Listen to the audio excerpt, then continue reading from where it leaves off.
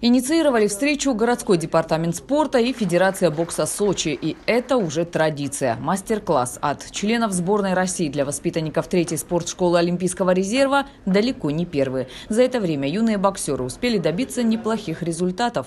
Во всех соревнованиях ребята занимали первые места. Ну а титулованные спортсмены в очередной раз показали, как они начинают тренировку, как проводят растяжку, поделились секретами, как вести бой с левшой и правшой. А для того, чтобы продемонстрировать продемонстрировать некоторые элементы, приглашали на ринг юных боксеров.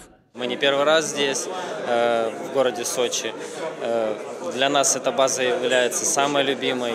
Э, сегодня нам посчастливилось, э, потому что для нас это большая гордость поговорить с юным поколением, что-то им дать, показать, э, рассказать, как мы проходили этот путь. Ну и я надеюсь, что мы отложили что-то в их голове.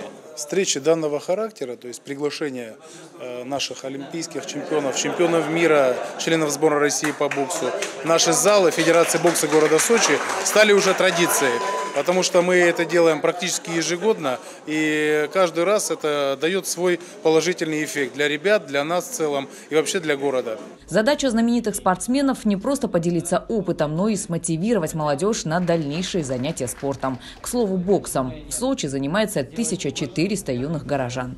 Очень важно для наших ребят, что у них есть возможность встречаться с э, такими профессионалами, как э, членами сборной России. Очень радостно, что можно просто встать и пообщаться с э, такими людьми.